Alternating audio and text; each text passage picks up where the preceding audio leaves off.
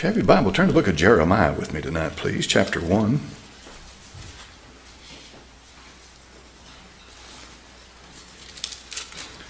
Jeremiah chapter number 1.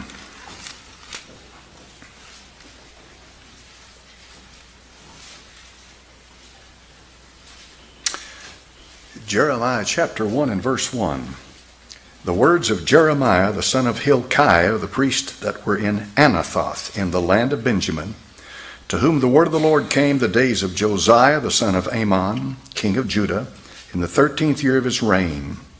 And it came also in the days of Jehoiakim, the son of Josiah, king of Judah, unto the end of the eleventh year of Zedekiah, the son of Josiah, king of Judah, unto the carrying away of Jerusalem captive in the fifth month.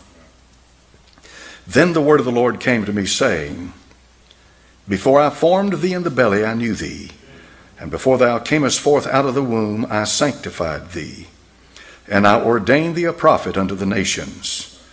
Then said I, Ah, Lord God, behold, I cannot speak, for I am a child. Father, I pray that you'd anoint your word as it goes out. A sower went forth to sow. That's what I'm doing tonight, Father sending it forth. Bless it now. In Jesus' name, amen. The book of Jeremiah is a powerful book, folks. Very powerful. Uh, if you read anything, any commentaries in the Bible, you'll find out that every one of them, practically to a man, will tell you that he's so unique. There's nobody else like him. His name means Jehovah is high or exalted of God. Jeremiah is a priest. Notice what it says in verse number one the son of Hilkiah of the priest that were in Anathoth. You cannot choose to be a priest. You're either born into it or you're not. So there's no choice here. He is a priest, but he's also a prophet. What's the difference? Is there a difference between a priest and a prophet? There's a huge difference. A priest ministers what has been set forth as a sacrifice, for the most part, what has been done. A priest, therefore, ministers for the people to God. That's what a priest does. A prophet is one who receives a message from God. A prophet is one who may be raised up under varying circumstances at different times from different places. Fact of the matter is, there are no two prophets in the Bible that are identical. They had a school of the prophets in the Old Testament. You remember back in the time of Samuel, they had a school of the prophets. But if you do study on that and try to run it down, you'll find out that uh, they never did really produce any prophets. It might have simply been a school of instruction for teaching. I don't know, but I do know this. I do know that if you're going to be a prophet, God's got to call you. And if you're going to be a prophet, God's going to use you. And if you're going to be a prophet, God's going to make you part of what you preach. And this is what we have unique about the prophets of God. Jeremiah was a prophet from the top of his head to the bottom of his feet. He was first a priest because he was born into a priestly family. But God set the priesthood behind him and called him in the prophet, into prophecy. So this made him different. Jeremiah prophesied right before Israel was taken into Babylonian captivity. When I say Israel, it's southern two tribes, 586 BC. He's unique in the sense that he is what's called the weeping prophet. In the book of uh, Lamentations, Jeremiah walks through the streets of Jerusalem and he weeps and he cries over his people. I don't know of anybody in the Bible who loved his people more than Jeremiah. He loved them, he loved them dearly. But he knew exactly where they were headed. He had opposition, as always. If you're serving the Lord, you're going to have opposition. He had people who professed to speak for God who came against him, yet they did not speak for God. Jeremiah was the only one speaking for God. Jeremiah's mentors were Zephaniah and Isaiah. So you couldn't have any better teachers than that. Amen. So this young man came up well, and he was prepared for the ministry, yet he was reluctant to go into it. If you'll remember, all those through the Bible, for the most part, that God calls and raises up and makes something out of them, they're usually reluctant. Look at Moses. He says, I can't speak. He said, Look at me. He said, I'm, I'm slow of speech. And God said, Who made your tongue? and he, of course, he gave him his brother Aaron to speak for him. Was Aaron really a help to Moses? No. No. For the most part, Aaron was a hindrance to Moses because Aaron sure didn't do anything for him when he was at the top of the mountain. No. It's, it's, it's, it's uh, you know, when God calls you and raises you up, Uh, you, you have to do what God called you to do. You remember Jonah, don't you? He called him to go to Nineveh and preach to them. He went the opposite direction. uh, he's not the only one who's ever done that. People are still doing that, running from God. Let me give you a little advice tonight. You can't run from Him. There's nowhere to hide. You can't get away from Him. There's nowhere to go. The best thing to do right now is just yield to the hand of God on your soul. If the Lord's speaking to you and He's called you into something, don't you don't have to run to some man to get it settled. Just get with God and get alone somewhere and crawl in a hole somewhere, shut the door, go out in the woods, go out in a boat, go somewhere and get alone with God and find out and make sure calling and election sure. So Jeremiah was unique. In chapter number one and verse number five, it says, Before I formed thee in the belly, I knew thee. Now, is Jeremiah the only one that God formed in the belly? No, he formed them all. This is why I'm so adamantly opposed to baby killers. Whether Democrat or Republican, it makes no difference. And they're on both sides, folks. You've got, they call themselves, uh, what, uh, right to life. No, not right to life. What is it? Woman's right to the body. What is it? Pro choice. That's it. Thank you. They call themselves pro choice. Well, I believe in pro choice. Give the babies a choice. If they choose to die, okay. But they don't give the babies a choice, right? No, they don't. They're killers. They're killers.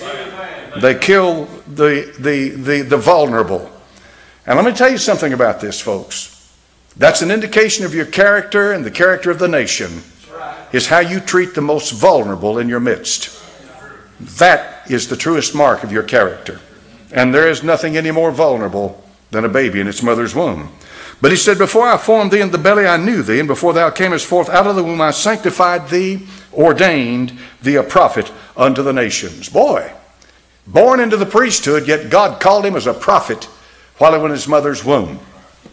You're not an accident. You're here for a reason. God's got a reason for you to be alive. Yes, He does. And I hope that you found that. I hope you know why you're here. I hope you know. I, I really do. You say, well, I'm here to make a living. No, that's, a, that's an incidental thing. Eating, sleeping, making living, driving cars, that's incidental. That's a peripheral. What is your real purpose in your life? What are you here for? What are you living for? You're not living just to live. You're living for a reason. And if you're not living for a reason, you're just existing. And that's the problem with America. So many people, they just exist, they don't live.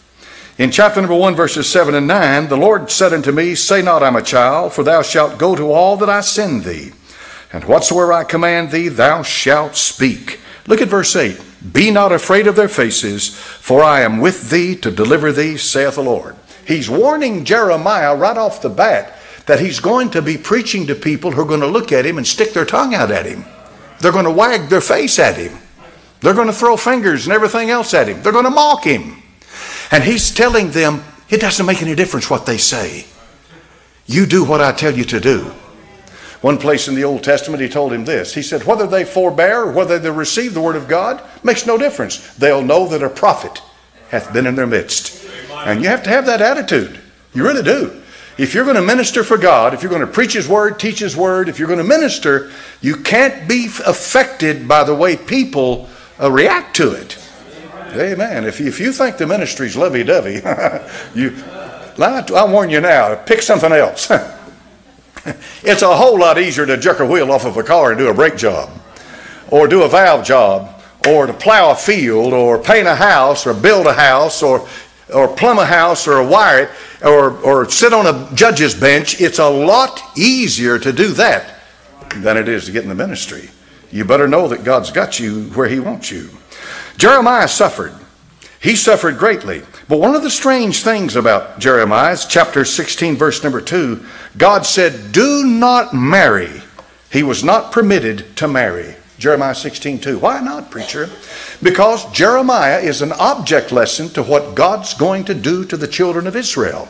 You see, the reason that Israel was going into Babylonian captivity, Judah, the reason they were headed to captivity is because they had committed adultery on their husband. Who's their husband, preacher? Jehovah. In the Old Testament, Israel was the wife of Jehovah. This is why God said to uh, Hosea, Go buy a woman, a prostitute. Go buy her.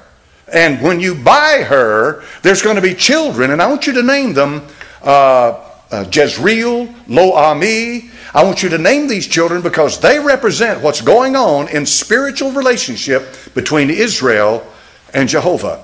You see, in the Old Testament, Israel is the wife of Jehovah. In the New Testament, the church of God is the bride of Christ. There's a difference. In the Old Testament, he gave Israel a writ of divorcement. Did you know that? He divorced her. He sure did, but then he tore it up because his heart would not allow him to continue with it.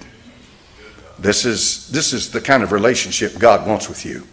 He does not want this he doesn't want this business type relationship. He doesn't want this, uh, this, this, you know, this standoffish type relationship. He wants the most intimate relationship he can have with you.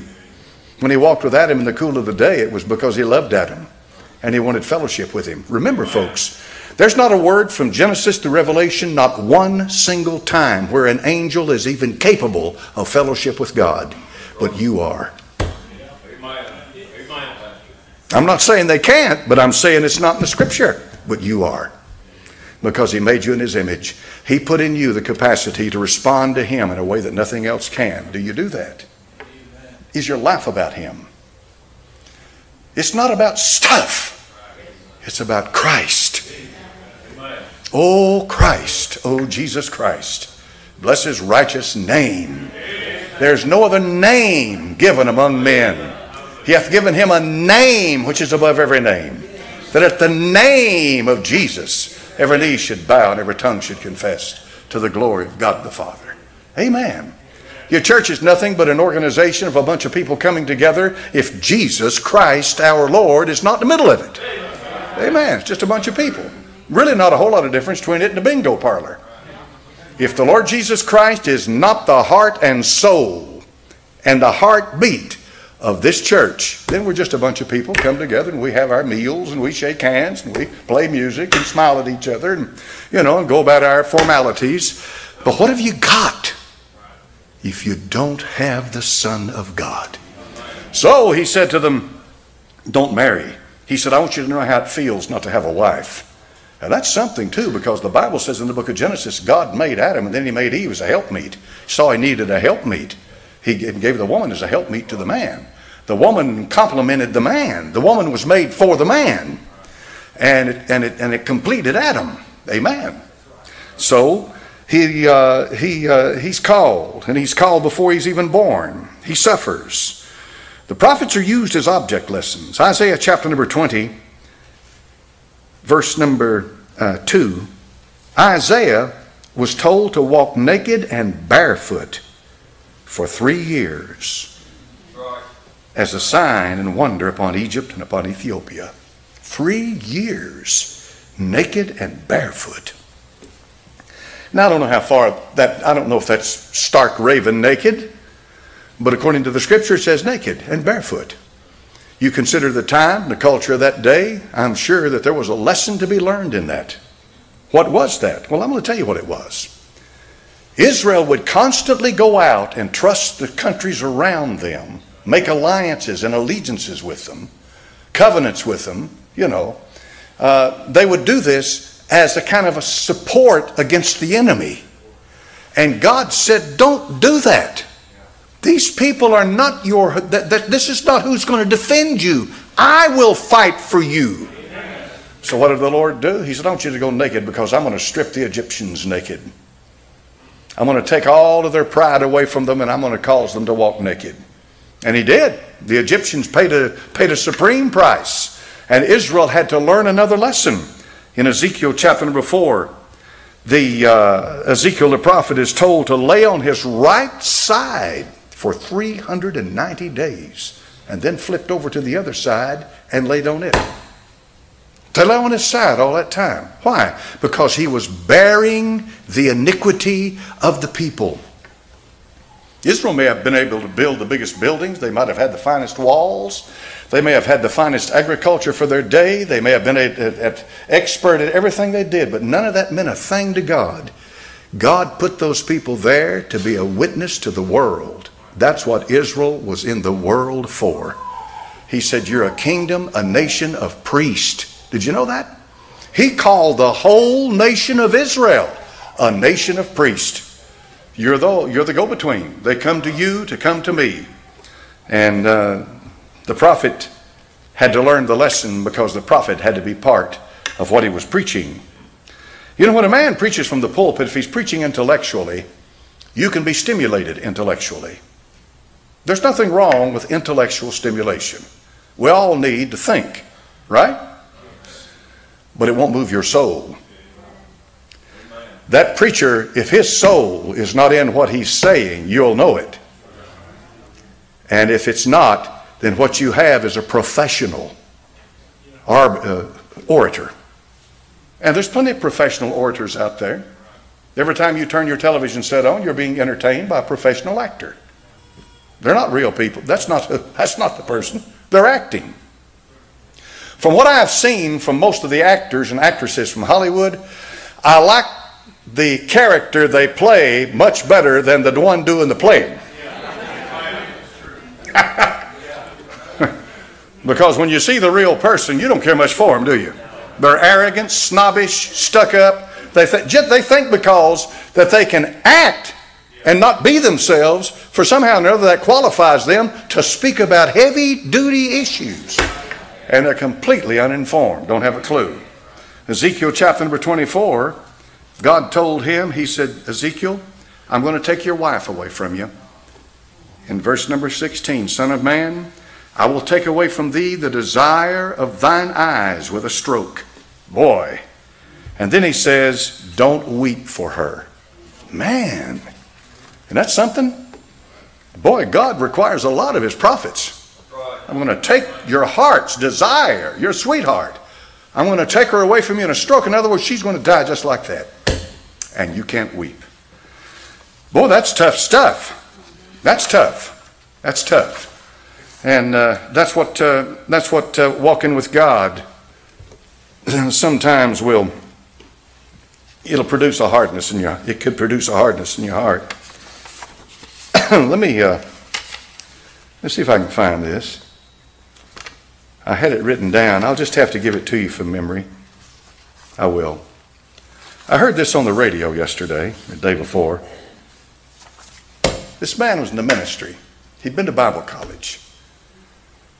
He'd, uh, he'd gone to a church and he was serving in that church and he was continuing his education. He had a beautiful little boy born, beautiful little son.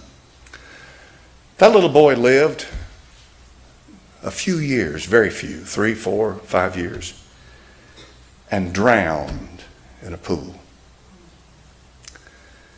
It devastated him. He said he went off, got in his car, and he drove off and he drove away. He went out as far as he could get and he began to scream at God. He got mad at God. He got mad. He began to vent his rage screaming at him.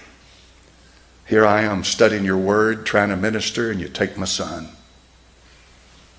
What kind of God am I serving? What is this all about? Is there any, is there any reality to any of this? He let loose, he emptied his soul, he poured it all out to God. When it was over with, he felt a little better because he got it off of his chest.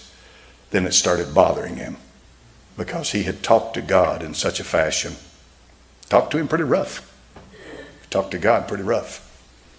He went home and he got in his closet and shut the door and got on his knees. As believers always do, they'll eventually find their way back. God said something to him when he was down on his knees. He said, Son, he said, You can say whatever you want to, I can handle it. Are you listening to me? Don't say what you think you, God wants to hear. Don't concoct some nice, sweet, religious little prayer that you got out of some prayer book somewhere. That's why your prayers are dead. That's why you won't pray. Talk from your heart.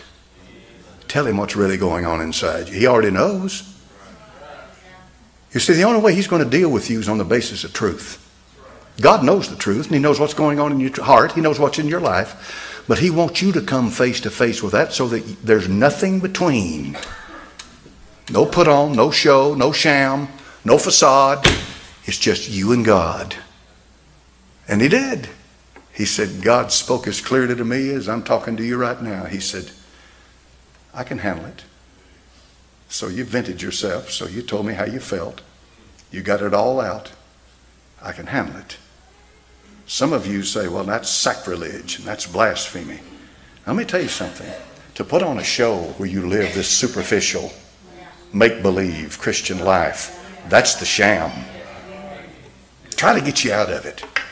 Try to get you out of East Tennessee cultural religion. Everybody's saved around here. Nobody's lost in East Tennessee. but just as many dope people addicted to drugs, just as many babies being born out of wedlock, just as many homes busted up with divorce, just as just as much sorrow, pain, and heartache and hurt and woe. Yet everybody's born again here in East Tennessee. See what I mean? That's cultural Christianity. And it stinks. Shoo! stinks. My grandmother and grandfather used to say, Pew, Kjarn. Pew. Stinks like Kjarn. you know the difference between Kjarn and dirt, don't you? Boys like to play in the dirt. Kjarn's dirt doesn't stink. Kjarn stinks. don't look it up in the dictionary, it's not in there. But if you're from around here, you know what that word means. And getting to Kjarn, look what it says in Jeremiah chapter number 2 and verse number 13. My people have committed two evils. They've forsaken me, the fountain of living waters, and hewed them out cisterns, broken cisterns that can hold a water. All right. Now, he's talking about the difference between a fountain and a cistern.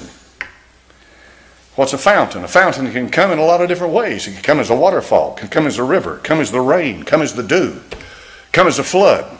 All the water in the Bible, many times, comes in many different ways, but it's coming and it's life giving and it's fresh and you can live by it. You can go out here and dig into the ground. You can dig down like the Jacob's well. They say it's deep, and they say that they had to dig through solid rock to get down to the water. Underneath you, there's water flowing everywhere. All you have to do is be able to dig down Tap into it. That water is alive. What's a cistern? A cistern is any kind of a container. You can dig it into the ground, put a, put a liner around it, or you can have a bucket or something that catches the runoff from the earth or from a roof or from something like that. It catches that water and it catches it into a container. But think about what you got in there. Think about where that water has come. Think about what all goes on on the surface of the earth, and this water is washing it down into that cistern. And you're going to go drink that stuff. That can be very filthy compared to well, that you dig a well, that you go deep into the ground and get the fresh water and pull it up out of the ground. Compare that to the filthy runoff from the earth. And the Lord said through Jeremiah, He said, You got cisterns out here. You've forsaken the fountain of living water, and you've dug yourself cisterns.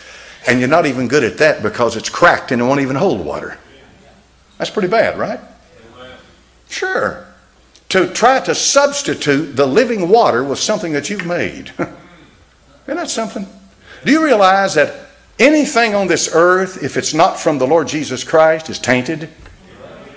And do you realize that there is nothing that you can get from the Lord Jesus Christ that is tainted. He's pure. He's pure. Amen. He's pure. His word's pure. His spirit's pure. His fellowship is pure. His love for you is pure. What he wants for you, what he gives you, it's all pure. But instead, we'll turn away and we'll turn to a cistern and we're going to collect water that, uh, you know, where the dogs and the animals and the rest of them have been, and it's going to wash right through that and wash down in there, and you're going to reach down there and get you a big handful of that, and that's going to be what you drink.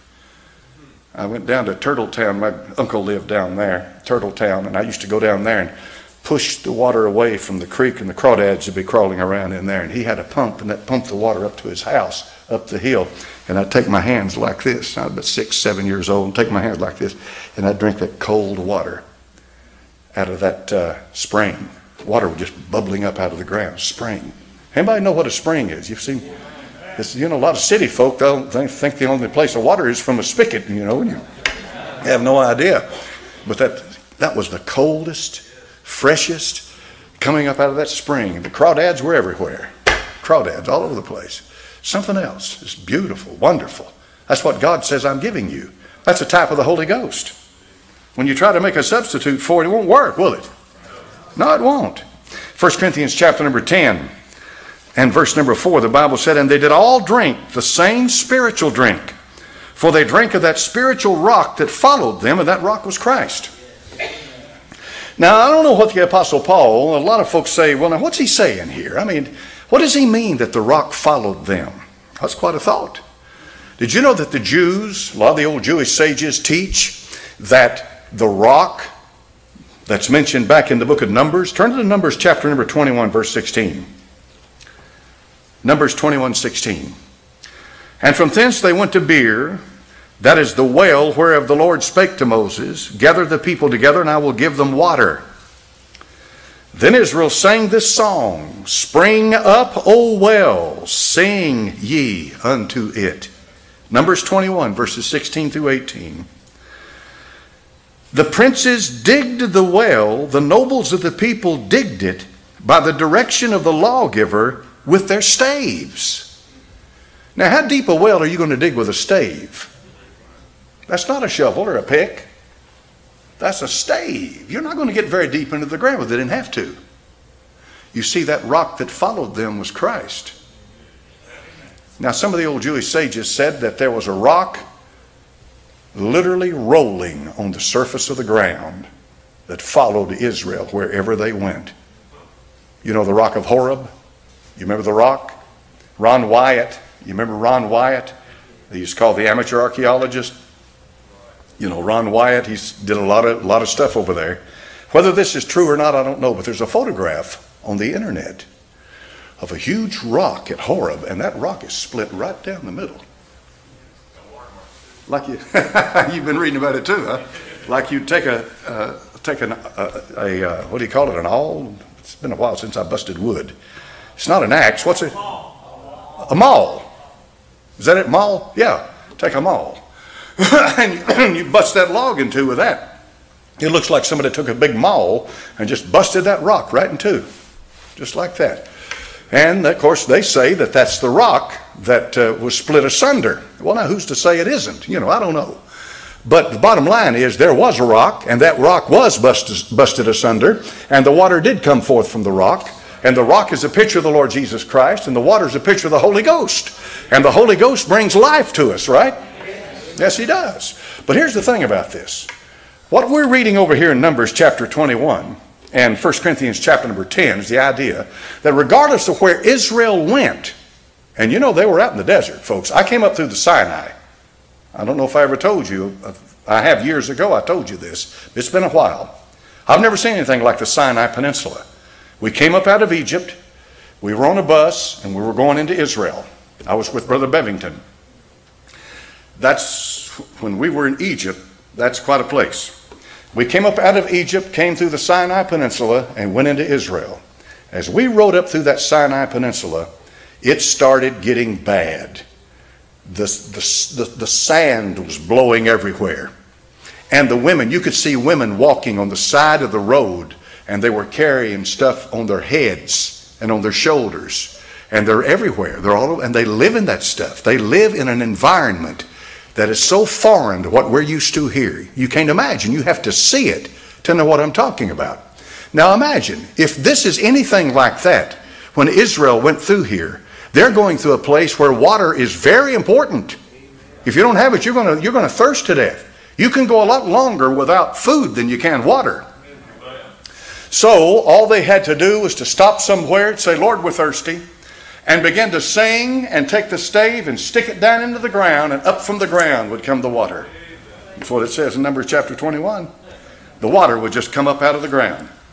which would make you think it could be possible that wherever they went, wherever they walked, and of course, remember this, they were led by God. The Lord was leading them, and so the, the water was following them underneath the surface of the ground. So you can't prove that, preacher, and you can't prove it's not. you can't prove a negative. You know how that goes. I don't know, but I do know this. It made no difference where they were, the water was there. God took care of them. Amen. Aren't you glad that makes no difference where you are now? When He, the Spirit of truth, has come, He will guide you into all. He said, I'll never leave you, sealed by the Holy Spirit till the day of redemption. That's our heritage, folks. That's our identity. That's our mark. We have the Holy Spirit. If you don't have the Holy Spirit, you don't belong to the Lord. But if you if you do belong to the Lord, you have the Holy Spirit. That Holy Spirit is the is the is the earnest of our inheritance. So the water was there, and the water came out from the rock. Psalm chapter 114, verses 7 through 8 says this Tremble, thou earth, at the presence of the Lord, at the presence of the God of Jacob, which turned the rock into a standing water, the flint into a fountain of waters. Water for a thirsty people. Jeremiah went down into Egypt against his will. He warned the people when they began to turn to Egypt for trust. He said, Listen, he said, it's the will of God for you to submit to the Babylonians. That's the will of God. Now, that's not the kind of message you want. But that's the message God gave them. The reason it was the will of God is because the judgment was set and they were going to go for 70 years into Babylonian captivity. That's the way it was going to be. Nothing's going to change that. And the land would enjoy its Sabbaths and Israel would learn some lessons while they were off in Babylon. Jeremiah was carried into Egypt. What happened to Jeremiah? Nobody knows. Nowhere in the Bible does it record Jeremiah's death. There's some traditions out there, quite a few just like there is with anything. One big tradition is that Jeremiah took a young Hebrew maiden girl with him into Britain. And she was of the royal line of David. And she went into Britain, and from her, uh, generation after generation, uh, the British throne was established by a Hebrew girl who came from the Hebrew monarchy. Oh, All right, what's that mean? That Jeremiah carried a stone with him into Great Britain, and that was called the coronation stone or the stone of destiny. That stone, and this is a fact about the stone, that stone was underneath the, thro- the crown, the throne of the British monarchs for hundreds of years. And when they would, uh, when they were, when they, when they would sit uh, as, as the monarch of England, the stone would be underneath them. But it's my understanding that just recently the stone was taken back to Scotland. seems to be such a, a big argument over that. Now, what is that, preacher? That's called British Israelism. I have never subscribed to British Israelism. Never have. One of the reasons is because the, there is no, there's no supporting documents. There's nothing that can prove this. This is, this is something that a lot of people believe, and I think they have a reason for wanting to believe it. And let me tell you what that reason is. Before America, 1776, declared its independence from King George, the greatest army on the face of this earth was Great Britain. Great Britain. They had the largest navy, and they had, a, they had, they had the most I guess, most disciplined, well disciplined army was Great Britain. It was an absolute miracle that these little fledgling 13 colonies were able to throw off the yoke of the British crown. You need to think about that. That was a miracle. That was as big a miracle as Israel on May the 14th, 1948, when David Ben Gurion declared the sovereignty and independence and the rebirth once again of the nation of Israel, because I think it was the very next day that all of these Arab countries attacked them. And for eight years, they fought a war of independence. And they came out victorious. It was a miracle. that the nation of Israel, the state of Israel, was born and able to survive. No doubt in my mind about it whatsoever. So America was a, was a miracle, and so was, and so was uh, Israel. Great Britain, to this very day, is still a monarchy. Great Britain, to this day, has still got an enormous influence over this earth. There are, right now, major powers in the world, major powers in this world that control what's going on. Okay? Now look what's happening right now. You've got all these people coming up from Honduras and Guatemala and, and El Salvador and San Salvador, and, you know, and, and, and the Latin American countries. You got all these people coming up from the south. Okay. When you go south of the border of the United States of America, you got a bunch of countries down there, but they don't control the world. They can't even control their own country. Venezuela right now is on bankruptcy. They're, they're fighting in the streets. Okay? Somebody said the other day that China may come into, was it China? Somebody told me the other day, I forget who it was, I think it's China. China is thinking about coming into South America and, and establishing some kind of a something in there. And I told them right then, I said, the Monroe Doctrine. Yeah, yeah. President Monroe said no European or foreign power will be allowed to establish authority in these Latin states. Okay, so they're dismissed. So where does the power lie? China can field 200 million horsemen. Yes, they can. Yeah. Russia, a bear up there in the north, according to the book of Ezekiel. Israel and, and, and, and, and England, England, a nation that's such a small island and yet it has an enormous power over the earth. You wouldn't believe what kind of power England has, both monetarily and a lot of other ways. Then the United States of America. Look at this country. We're coming together, folks, right now. Things are coming together, I firmly believe, that are going to fulfill Bible prophecy.